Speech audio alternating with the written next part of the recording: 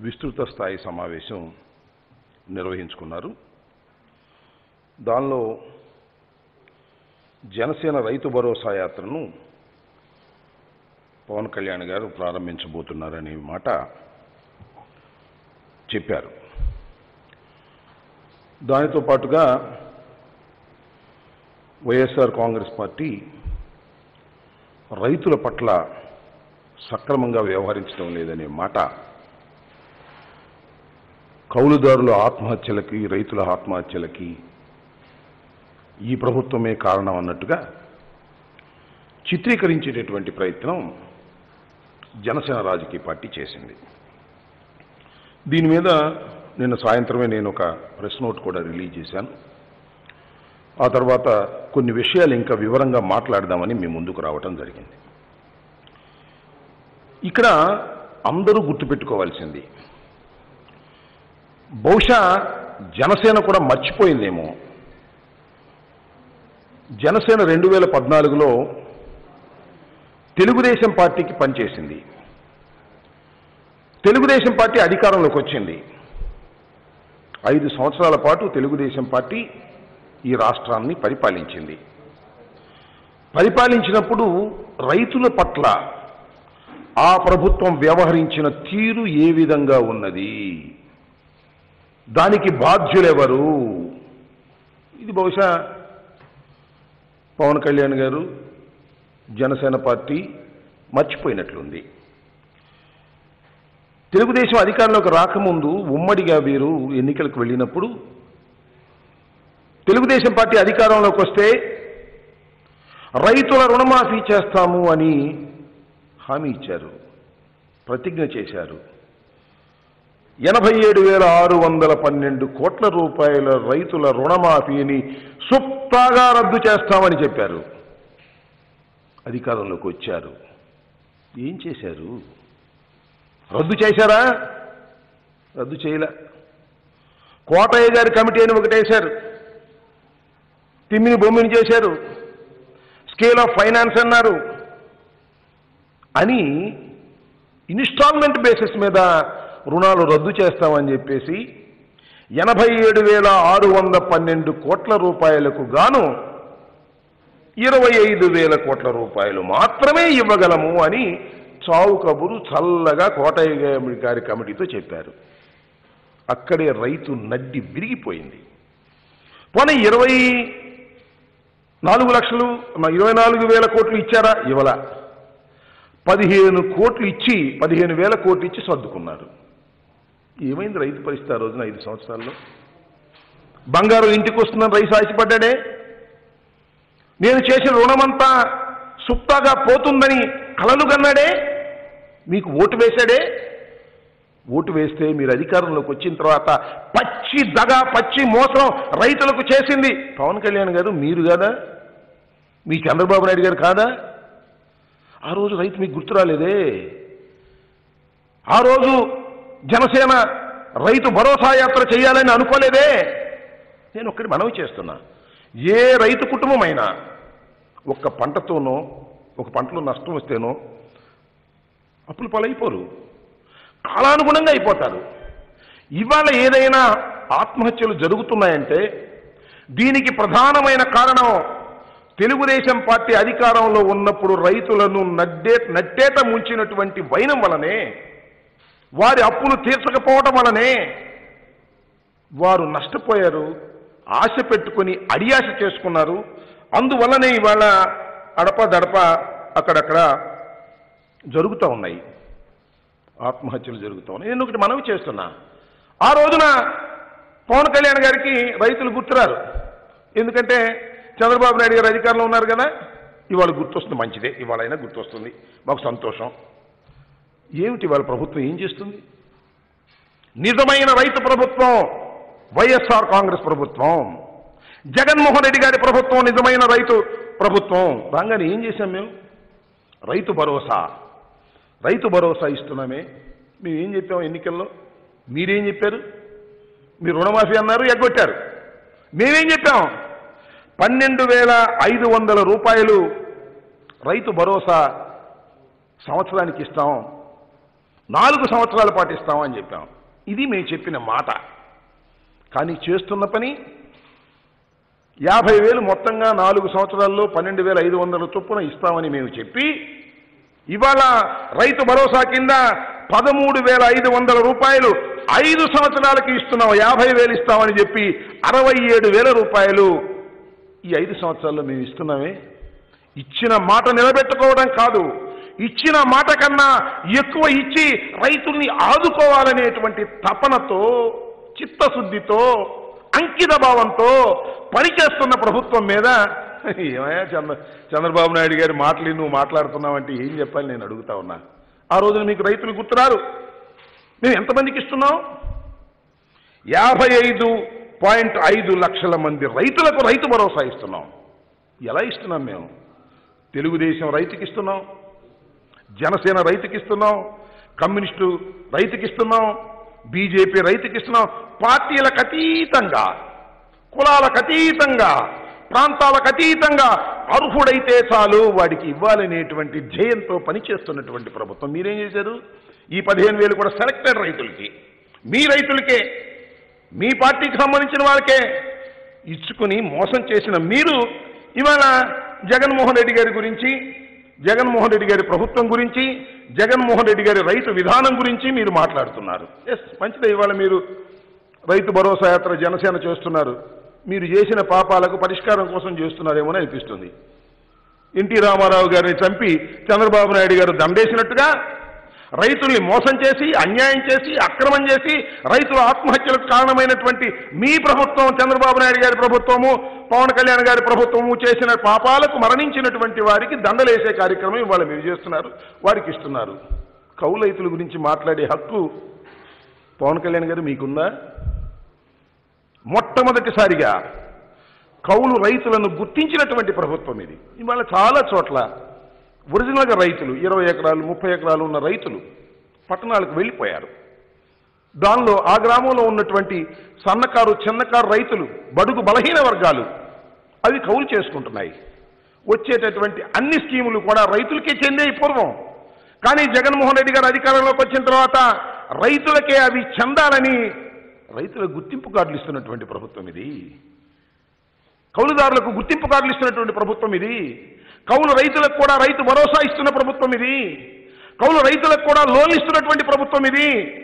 ఈ ప్రభుత్వం గురించి నువ్వు మాట్లాడుతూ ఉన్నావంటే ఏం చెప్పాలి? నీకు అర్థమవుతుందా? అర్థం కావడం లేదా? ఎందుకు ఈ విధంగా మాట్లాడుతున్నారు అనే విషయాన్ని కూడా ఇక్కడ గమనించుకోవాల్సినటువంటి అవసరం ఉందని మనవి చేస్తున్నా. ఇది రైతు ప్రభుత్వం. మీది రైతు వ్యతిరేక ప్రభుత్వం. మీకు రైతుల గురించి మీకు కానీ తెలుగుదేశం పార్టీ చంద్రబాబు నాయుడు గారికి కానీ రైతుల గురించి మాట్లాడే నైతిక హక్కు లేదు అనే విషయాన్ని మీరు దయచేసి గుర్తుపెట్టుకోండి. మీరు రైతు భరోసా యాత్ర చేస్తారు చంద్రబాబు భరోసా యాత్ర చేస్తారు చంద్రబాబు నాయుడు గారిని అధికారంలోకి తీసుకురావడం కోసం పల్లకీ మోస్తారో. అది మీ ఇష్టం కానీ రైతుల గురించి మాట్లాడే నైతిక హక్కు ఈ రాష్ట్రంలో ఎవరికైనా ఉంది అంటే అది జగన్మోహన్ రెడ్డి గారి ప్రభుత్వానికి వైఎస్ఆర్ కాంగ్రెస్ పార్టీకి తప్ప మరెవరికి లేదని కూడా ఈ సందర్భంగా నేను చెప్పదలుచుకున్నాను. ఇంకా దాంతోపాటు అనేక రకమైన రాజకీయ ఉపన్యాసాలు కూడా పవన్ కళ్యాణ్ గారు చాలా చాలా కామెడీగా చెప్పారు. నాకు నిజంగా నవ్వు వచ్చింది. మొన్న ఏదో ఆవిర్భావ దినోత్సవం రోజున ఆయన ఒక మాట చెప్పాడు. వైఎస్ఆర్ ప్రభుత్వం యొక్క వ్యతిరేక ఓటుని చీలకుండా నేను కాపలా కాస్తాను. శభాష్. దాన్ని చూసి అంటే మాకు భయం వేస్తుందంట. మేము భయపడిపోతున్నామంట. నాకు అర్థం కాల నిన్ను చూసి భయపడాల్సిన అవసరం మాకేంటి? చంద్రబాబును చూసి భయపడాల్సిన అవసరం మాకేంటి? నువ్వు రాజకీయ పార్టీ పెట్టావు. అధికారంలోకి రాలేదు సరే. ఎన్ని వచ్చినాయి నీకు? ఒకటి వచ్చింది. నువ్వు ఓడిపోయావు ఒక చోట కదే రెండు చోట్ల ఓడిపోయావు. నిన్ను చూసి మేము భయపడాలా? భయపడాల్సిన అవసరం ఉన్నదా? ఒక్క చేత్తో ఒంటి చేత్తో నూట యాభై ఒక్క సీట్లు గెలుచుకున్నటువంటి ఈ రాష్ట్ర ప్రభుత్వం జగన్మోహన్ రెడ్డి గారు ఇచ్చిన హామీలను అన్నీ కూడా నెరవేర్చడానికి ముందుకు వెళుతున్నటువంటి జగన్మోహన్ రెడ్డి గారు నిన్ను చూసి భయపడాల్సిన అవసరం ఏంటి నీ అంతా నువ్వేదో పిట్టలదొరలాగా నన్ను చూసి భయపడుతున్నారు నన్ను చూసి భయపడుతున్నారు నన్ను చూసి భయపడుతున్నారంటే నువ్వు కాదు నువ్వు చంద్రబాబు భారతీయ జనతా పార్టీ ఇంకోటి ఇంకోటి అన్ని కట్టగట్టుకు రండి. భయపడే ప్రశ్నే లేదు. భయపడవలసిన అవసరమే లేదు. ఈ విషయాన్ని మీరు మిస్ అవుతున్నట్టున్నారు మీరు మర్చిపోతున్నట్టున్నారు అది గుర్తుపెట్టుకోవాల్సిందిగా మీకు మనవి చేస్తున్నాను. వైఎస్ఆర్ కాంగ్రెస్ పార్టీ వ్యతిరేక ఓటుని చీల్చుకోకుండా నేను ప్రయత్నం చేస్తున్నాను. దానికి మేము భయపడుతున్నామనే మాట ఒకటంటే మళ్ళీ ఆయన ఇంకో మాట అన్నాడు.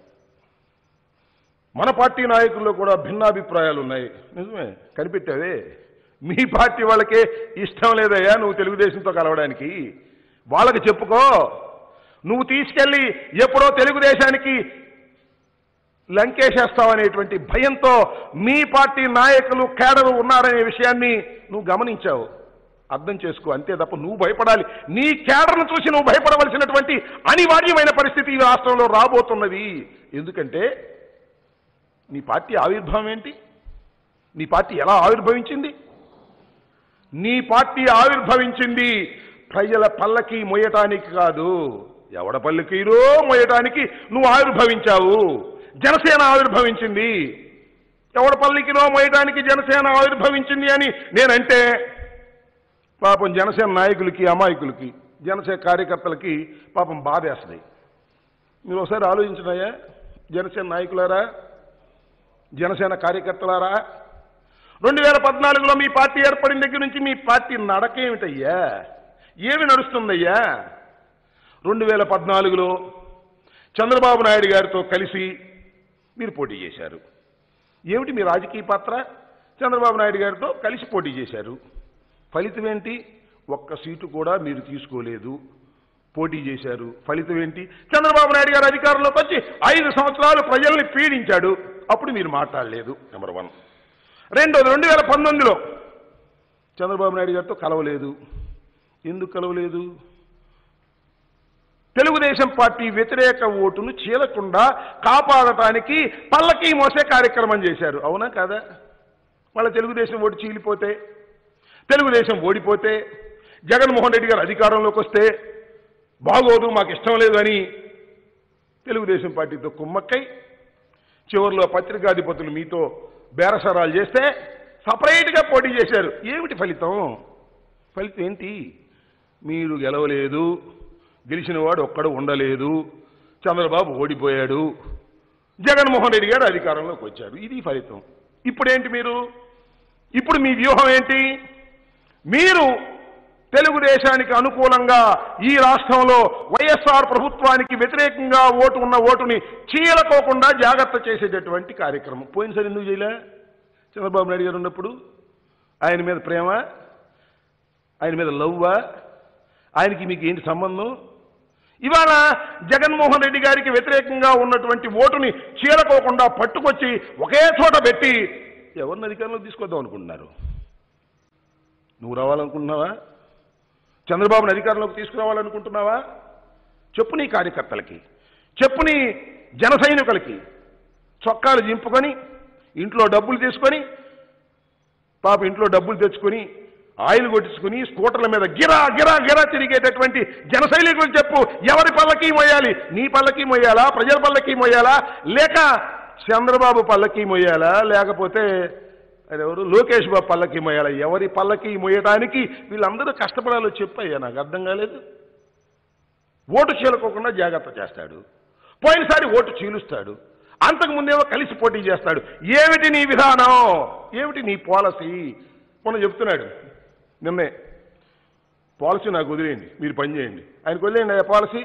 కార్యకర్తలందరూ కూడా ఆయన చంద్రబాబుతో కలిసి మాట్లాడుకుంటాడు. ఇప్పుడు కాపలాదారుని పెట్టాడు చంద్రబాబు నాయుడు గారు. ఎవరైనా మనోహర్ ఆయన కాపలాదాన్ని పెట్టి పక్కనే కూర్చుంటాడు. ఎప్పటికప్పుడు సమాచారం అక్కడ ఇస్తాడు. ఇలాంటి డీల్స్ అన్నీ జరుగుతూ ఉంటే ఎవరికి తెలియదు మీరు మాట్లాడే మాటలు ఇవాళ రైతు భరోసానో జనసేన భరోసానో మీరు తిరిగినంత మాత్రాన ప్రజలు నమ్ముతారని అనుకోవద్దని కూడా ఈ సందర్భంగా చెప్తాను ఒక్కసారి జన సైనికులు కానీ జనసేన నాయకులు కానీ ఈ మూడు స్టెప్స్ రెండు వేల పద్నాలుగు రెండు వేల పంతొమ్మిది రెండు వేల ఇరవై నాలుగులో ఏమి జరగబోతుంది? ఏమి సూచించబోతున్నాడో ఒక్కసారి బుర్రబెట్టి ఆలోచిస్తే మీకే అర్థమవుతున్నాయా ఎవడి పల్లకీనో మొయ్యటానికి పుట్టినటువంటి ఒక రాజకీయ పార్టీ తప్ప మీ మీద మీ కాళ్ళ మీద మీరు నిలబడేటటువంటి రాజకీయ పార్టీ కాదు అనే విషయం చాలా స్పష్టంగా అర్థమవుతుందనే విషయాన్ని కాస్త గమనిస్తే మంచిది. గమనించకపోతే గంగలో దూకండి మాకేం అభ్యంతరం లేదు. మరొక్కసారి చెప్తున్నా చెప్పాడు మొన్న నిన్నే. రెండు వేల ఇరవై నాలుగులో వైసీపీ అధికారంలోకి రాదు. జగన్మోహన్ రెడ్డి గారు అధికారంలోకి రాదు. ఈయన రాదు అన్నంటే వచ్చిందని అర్థం. ఎందుకంటే రెండు వేల పద్నాలుగులో ఏం చెప్పాడు ఒకసారి చూడండి యూట్యూబ్లో కొట్టి. జగన్మోహన్ రెడ్డి అధికారంలోకి రాడు వస్తే నేను రాజకీయ సన్యాసం తీసుకుంటా. తీసుకున్నావా? నువ్వు కాదంటే అవుననిలే అవునంటే కాదనిలే. రెండు వేల పద్నాలుగులో జగన్మోహన్ రెడ్డి అధికారంలోకి రాడు అని చెప్పావు. వచ్చాడు ఇవాళ అధికారంలోకి రాడు అని చెప్తున్నావు. వచ్చాడు వస్తాడు నేను మనవి చేస్తున్నా. ఇది సత్యం. మళ్ళా రెండు వేల ఇరవై నాలుగులో జరిగే ఎన్నికల్లో రెండు సీట్లు అటు ఇటు కావచ్చు. మళ్ళా తిరిగి రాజ్యాధికారం దక్కేది జగన్మోహన్ రెడ్డి గారికి వైఎస్ఆర్ కాంగ్రెస్ పార్టీకి. ఇది సత్యం. ఎంత సత్యం అంటే నువ్వు మా ఇంటికి వచ్చి మా పిల్లల్ని ఆశీర్వదించావే అంత సత్యం ఇది. గుర్తుపెట్టుకునే వాళ్ళు రాసుకోమని చెప్తున్నా. మళ్ళా రెండు వేల ఇరవై నాలుగులో మళ్ళా చూద్దాం.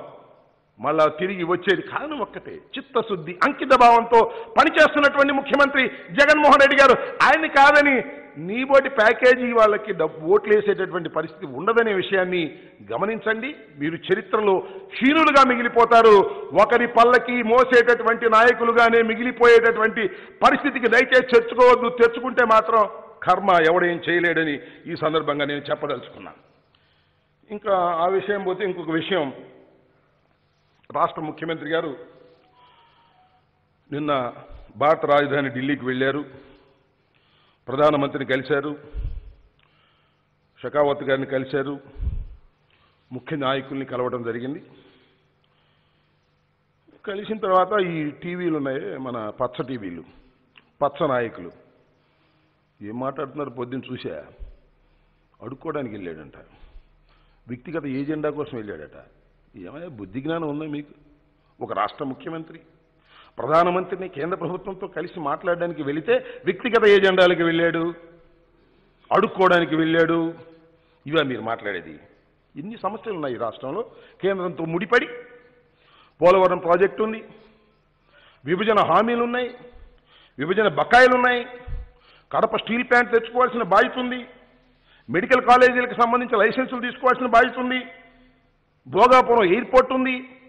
రేషన్ కార్డులకు సంబంధించి వైట్ రేషన్ కార్డులకు సంబంధించి సబ్సిడీ కొంతమందికి ఇస్తున్నారు కొంతమందికి ఇవ్వట్లేదు కేంద్ర ప్రభుత్వం. దాని గురించి మాట్లాడాలి. ఇన్ని సమస్యల గురించి మాట్లాడడానికి వెళ్ళి గౌరవ ముఖ్యమంత్రి జగన్మోహన్ రెడ్డి గారు ప్రధానమంత్రిని ఇతర నాయకుల్ని కలుసుకుంటే ఫైనాన్స్ మినిస్టర్ అందరిని కలుసుకుంటే మీరు కూసే కూతలు ఏంటో? నాకు అర్థం కాదు. అడుక్కోవడానికి వెళ్ళాడా? శ్రీలంకలాగా రాష్ట్రాన్ని చేస్తున్నాడా? పవన్ కళ్యాణ్ కూడా అన్నాడు ఇద్దరిది ఒకటే మాట ఒకటే బాట. శ్రీలంకలాగా మన రాష్ట్రాన్ని చేస్తున్నారంట. ఎందుకే భయపెడతారు ప్రజల్ని? మీ ఉద్దేశం ఏంటి? నేను మనవి చేస్తున్నా. పోలవరం ప్రాజెక్టు. ఇంకా రెండు వందల పైచిలుకు గ్రామాలు ముంపు గ్రామాలు ఉన్నాయి. వాటిని అన్ని ఖాళీ చేయించాలి వారికి నష్టపరిహారం ఇవ్వాలి. దాని గురించి మాట్లాడవలసినటువంటి బాధ్యత ఈ రాష్ట్ర ముఖ్యమంత్రి లేదా ముఖ్యమంత్రికి లేదా? త్వరితగతిన పోలవరం ప్రాజెక్టును నిర్మాణం చేయవలసిన బాధ్యత ముఖ్యమంత్రి గారికి లేదా? అంతేకాదు. యాభై ఐదు వేల ఐదు వందల నలభై ఎనిమిది కోట్ల రూపాయలు రెండు వేల పంతొమ్మిదిలో కేంద్ర ప్రభుత్వం అంచనా వేసింది పోలవరం ప్రాజెక్టుకి. ఇంకా ముప్పై ఒకటి ముప్పై ఒక్క వెయ్యి నూట ఎనభై ఎనిమిది కోట్ల రూపాయలు మనకు రావాలి.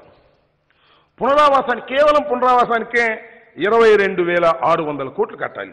ప్రాజెక్టుకేమో ఎనిమిది వందల అరవై కోట్లు. ఇవన్నీ అడగవలసిన బాధ్యత లేదా? తెచ్చుకోవాల్సిన బాధ్యత లేదా? ముఖ్యమంత్రి గారు వెళ్తే అడుక్కోవటం ఇది? ఇది మన హక్కు. మన హక్కు కోసం వెళ్ళి అడుగుతుంటే అడుక్కోవడానికి వెళ్ళాడు వ్యక్తిగత ఏజెండాతో వెళ్ళాడు అనేటువంటి మాట మాట్లాడుతున్నారు. విభజన హామీల సంగతి. విభజన హామీల గురించి మనం మాట్లాడవలసిన బాధ్యత ఉంది. కడపలో స్టీల్ ప్లాంట్ చేస్తా ఉన్నారు. దాన్ని తొందరగా పూర్తి చేయాలి. దానికి నిధులు కావాలి పర్మిషన్స్ కావాలి. ఇవన్నిటిని కూడా వెళ్ళి అడిగారు. అంతేకాదు పదకొండు మెడికల్ కాలేజీకి మూడు మెడికల్ కాలేజీకి పర్మిషన్ ఇచ్చారు. ఇంకా పదకొండు మెడికల్ కాలేజీలకి పర్మిషన్ రావాలి.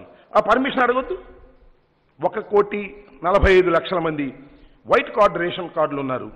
వాళ్ళకి సబ్సిడీ కేంద్ర ప్రభుత్వం ఇవ్వాలి. ఎంత ఇస్తుంది? ఎనభై తొమ్మిది లక్షలకి ఇస్తుంది. ఇంకా యాభై ఆరు లక్షలకి ఇవ్వాలని వారిని వెళ్ళి అడగవలసిన బాధ్యత దృష్టిలో పెట్టవలసిన బాధ్యత ఉంది. భోగాపురం ఎయిర్పోర్ట్ మనకు చాలా ప్రధానమైంది. దాన్ని త్వరితగతిన పూర్తి చేయమని అడగాల్సి ఉంది. ఇన్ని విషయాల గురించి వెళ్ళి అడిగితే మీ ఇష్టం వచ్చినట్టుగా మాట్లాడేటువంటి పరిస్థితి ఇవాళ తెలుగుదేశం పార్టీ వాళ్ళు తెలుగుదేశం మీడియా జనసేన నాయకులు ఇష్టం వచ్చినట్టు అవాకులు చవాకులు పేలుతున్నారు. అదేమంటే శ్రీలంకలాగా తయారైపోతుంది. శ్రీలంకలాగా జగన్మోహన్ రెడ్డి గారు చేస్తున్నాడు. వీళ్ళ ఉద్దేశం ఏమీ లేదు. సింపుల్. ప్రజలు పన్నులు కట్టకూడదు చెత్త పన్ను కట్టకూడదు ఇంకో పన్ను కరెంటు ఛార్జీలు పన్ను కట్టకు కండక్టర్ ఛార్జీలు కట్టకూడదు ఏవి కట్టకూడదు. ఏ పథకం జరగకూడదు. రైతు భరోసా జరగకూడదు. కాపు నేస్తం జరగకూడదు అమ్మ ఒడి జరగకూడదు ఏ పథకాలు జరగకూడదు. జగన్మోహన్ రెడ్డి గారు ఇచ్చినటువంటి ఏ పథకాలను కూడా సక్రమంగా నిర్వహించుకోకుండా ఉండేందుకు కావలసినటువంటి అన్ని పరిస్థితులు ఈ రాష్ట్రంలో ఏర్పడాలి. కేంద్ర ప్రభుత్వం సహాయం చేయకూడదు. పన్నులు వసూలు కాకూడదు. అప్పులు ఎవడు ఇవ్వకూడదు.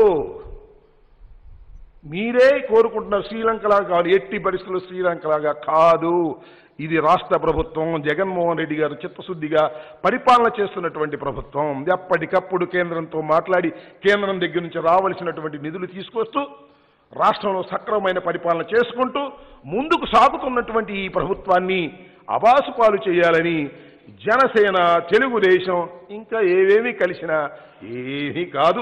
ఎంతమంది కట్ట కట్టుకొని వచ్చినా రెండు వేల ఇరవై నాలుగులో ఫ్యాను జెండాని రెపరెపలాగా ఎరుగుతుంది ఇది సత్యం గుర్తుపెట్టుకోమని ఈ సందర్భంగా చెప్పదలుచుకున్నాను. ఇంకా?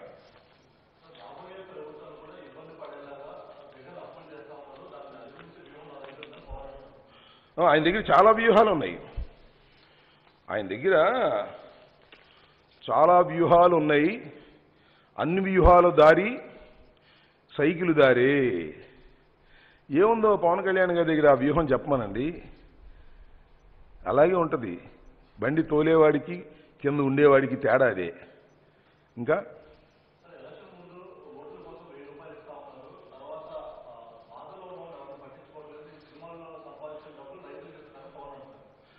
ఈ హ్యూమన్ అండి ఎవరు కదన్నారు? సినిమాలో డబ్బాయించిన డబ్బులు ఇస్తున్నాడు లేకపోతే మన తెలుగుదేశం దగ్గర నుంచి వచ్చిన డబ్బులు ఇస్తున్నాడు అది ఆయన తెలుసుకోవాల్సిన విషయం మనకేం తెలుసు? ఎన్టీఆర్ ట్రస్ట్ భవన్ నుంచి వచ్చిన డబ్బులు ఇస్తున్నాడు. లేదా సినిమాల్లో సంపాదించినటువంటి అదే సినిమాది అదేంటండి మొన్న వచ్చింది? మీకు గుర్తులేదా? నాకు గుర్తులేదు. ఏదో నాయక్ అండి. దానిలో వచ్చిన డబ్బులు వచ్చినాయో? లేకపోతే తెలుగుదేశం దగ్గర వచ్చిన డబ్బులు వచ్చినాయో? తెలుగుదేశం నాయకుడి దగ్గర నుంచి వచ్చిన డబ్బులు? అన్నీ ప్రజలే తెలుస్తారు. ఓ, చెప్పండి అర్హులైన ప్రతి వ్యక్తికి సంక్షేమం అందుతుంది. ఛాలెంజ్ అర్హుడైన ప్రతి వ్యక్తికి సంక్షేమం అందుతుంది. ఛాలెంజ్ మళ్ళా ఛాలెంజ్ మళ్ళా ఛాలెంజ్ రమ్మంటున్న పవన్ కళ్యాణ్ అయినా చంద్రబాబునైనా తెలుగుదేశమైనా కమ్యూనిస్ట్ అయినా జనసేన అయినా భారతీయ జనతా పార్టీ అయినా ఏ కులమైనా కమ్మైనా కాపైనా వెలమైనా రెడ్డి అయినా బీసీ అయినా ఎస్సీ అయినా అర్హత ఉంటే చాలు. వారికి సంక్షేమ కార్యక్రమం ఇంటి ముందు వాలుతుంది. ఇదే జగనన్న ప్రభుత్వం. ఇచ్చిన మాట నిలబెట్టుకున్న ప్రభుత్వం. కులం చూడం మతం చూడం ప్రాంతీయం చూడం రాజకీయాలు అసలే చూడమని చెప్పి అమలు చేస్తున్న ప్రభుత్వం. రెండు వేల ఇరవై నాలుగులో మళ్ళా అధికారంలోకి రాబోతున్న ప్రభుత్వం. ఛాలెంజ్ రమ్మను పవన్ కళ్యాణ్ని. లేకపోతే ఆయన పక్కన ఉంటాడు ఆయన రమ్మను.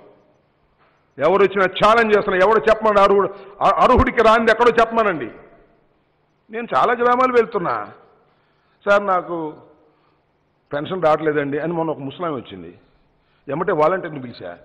ఏమ్మా ఈమెకి రావట్లేదండి. వీళ్ళ అబ్బాయి ఇన్కమ్ ట్యాక్స్ కడుతున్నాడండి అందుకని రాలేదండి. అర్హత లేదు. ఇంకో ఆమె వచ్చింది. నాకు రాలేదండి మా పక్కాకి వస్తుందండి అని. ఏమిటమ్మా ఈమెకి టౌన్లో హౌస్ ఉందండి. అందుకు రాలేదు అర్హులు! అర్హులుంటే ఎవరికైనా వస్తుంది. కాస్త పవన్ కళ్యాణ్ గారిని కళ్ళు తెరిచి చూడమనండి. గ్రామాల్లో ఏం జరుగుతుందో తెలుసుకోమనండి. సంక్షేమ కార్యక్రమాలు ఏం జరుగుతున్నాయో తెలుసుకోమనండి. అప్పుడు మాట్లాడమనండి. ఓకే?